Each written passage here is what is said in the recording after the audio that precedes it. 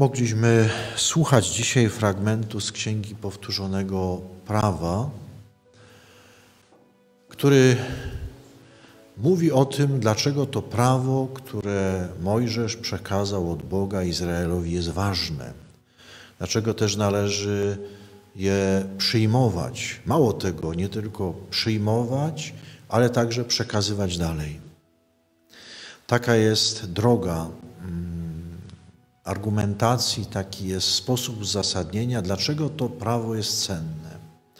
Do tego Mojżesz dodaje, że kiedy będziecie przestrzegać tego prawa, wtedy narody ościenne, które nie mają takiego Boga i nie mają takiego prawa, was będą podziwiać, jakie to prawo jest mądre i jak dobrze kształtuje ludzi.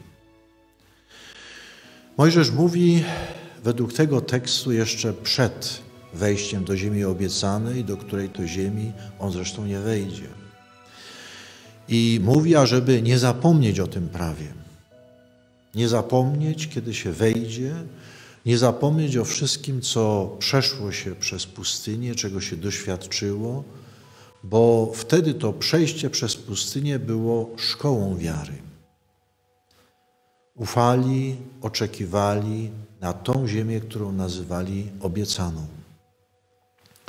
Ale ta ziemia dostała się tym, którzy uwierzyli w tą obietnicę, którzy nie zwątpili, którzy nie szemrali, którzy przyjęli się, przejęli się tym, co Bóg objawił przez Mojżesza.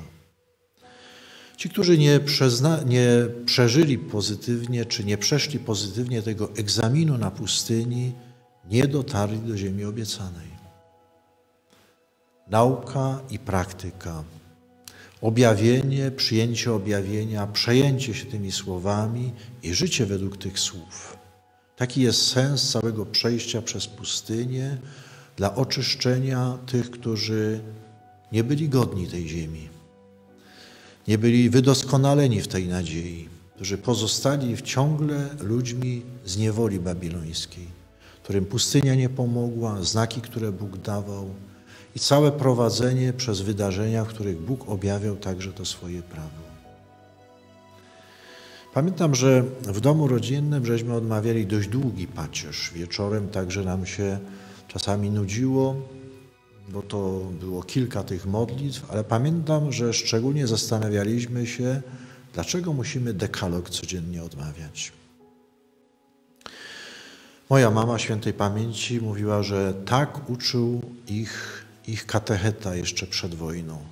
Trzeba przypominać sobie to prawo Boże i przekazywać tym, którzy przyjdą na świat w rodzinie, którzy będą mali i od małego uczyć tego, co jest prawem Bożym. Mówiła, że ten ksiądz proboszcz wtedy parafii był człowiekiem bardzo wykształconym. Zdaje się, że niemalże skończył studia medyczne, ale przerwał je, wstąpił do seminarium, był bardzo oczytany, wciąż coś czytał w ogrodzie, doradzał czasami ludziom, jak żyć, jak prowadzić gospodarstwo, jak czasami może zażyć jakieś lekarstwo, które jest potrzebne. Ten kapłan mówił właśnie tak jak Mojżesz. Przyjąć, uwierzyć, zastosować w życiu i przekazać następnemu pokoleniu. Jesteśmy tym pokoleniem, które ma szansę teraz przekazać to prawo Boże następnym pokoleniom.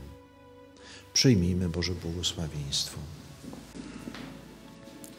Pan z wami. I z duchem Twoim. Niech was błogosławi Bóg Wszechmogący, Ojciec i Syn i Duch Święty. Błogosławmy Panu. Bogu niech będą dzięki.